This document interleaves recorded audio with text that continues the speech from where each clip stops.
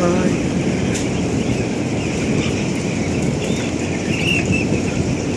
ladies and gentlemen, this is uh, the poultry house of uh, with a capacity of uh, 36,000 birds. The size of the building is uh, 50 by 450 feet.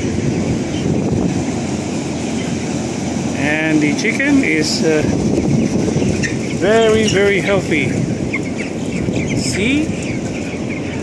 Wow! That's only around 17 days. There you go.